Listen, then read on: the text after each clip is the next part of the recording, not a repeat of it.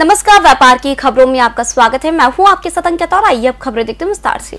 भारतीय रेलवे ने दिव्यांग लोगों को बड़ी राहत दी है। दिल्ली आने वाले दिव्यांग व्यक्ति संघ लोक सेवा आयोग कार्यालय में मौजूद रेलवे के पीआरएस काउंटर से रियायती टिकट प्राप्त कर सकेंगे। रेलवे ने ये सुविधा बुधवार से शुरू कर दी है। राफेल सौदे को लेकर जारी विवाद के बीच उद्योगपति अनिल अंबानी ने बुधवार को कहा कि सच्चाई की जीत होगी। राफेल सौदे के तहत फ्रांस की कंपनी से अंबानी को ही विवाद इस पर ठेका मिला है। उन्होंने यह बात ऐसे समय कही है जब राफेल सौदे को लेकर वित्त मंत्री अरुण जेटली और कांग्रेस अध्यक्ष राहुल गांधी ने एक दूसरे पर बुधवार को ताज़ा आरोप लगाए।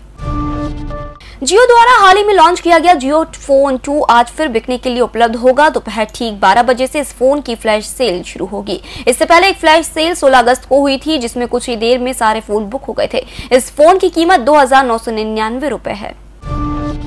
बाज़ार नियामक भारतीय प्रतिभूति एवं विनियमन बोर्ड अगले महीने गोल्डन लाइफ एग्रो इंडिया और सन प्लांट एग्रो समेत चार कंपनियों की 16 संपत्तियों की नीलामी करेगा। इनका आरक्षित मूल्य कुल 9 करोड़ रुपए रखा गया है। इनकम टैक्स रिटर्न भरने की आखिरी तारीख वैसे तो 31 अगस्त है लेकिन केरल के करदाताओं के लिए इसे 15 सितंबर तक बढ़ा दिया गया है। आयकर विभाग ने राज्य में बाढ़ के चलते बिगड़े हालातों को देखते हुए यह फैसला लिया है। फ़िलहाल उस बुलेटिन में इतना ही। आप बने रहिए टीवी के साथ। नमस्कार। Jenavan Sales, Crompton Greaves के गीजर पंखे and lighting luminaries, heavy duty exhaust fans and cooler fans की संपूर्ण रेंज एलमोनार्ड के fans pedestal fans exhaust fans and air curtain की विस्तृत range जेनावन sales near Bharat talkies first floor Hamidia road Bhopal